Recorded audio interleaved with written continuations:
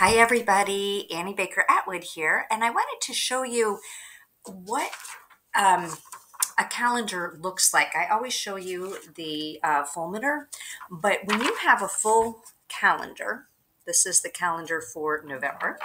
We'll just do that.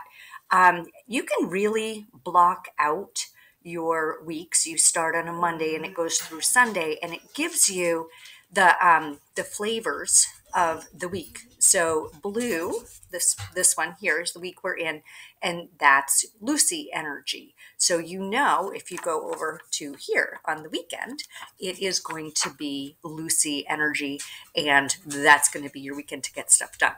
You're going to notice whoop, that this week of Thanksgiving is Mandy energy. So Mandy energy is Mother Earth home you're going to have a fantastic time looking um, making your home beautiful for Thanksgiving. And it's going to be, oh, there I am, really a homey time. If you are traveling, you might feel a little, mm, you want it to be home.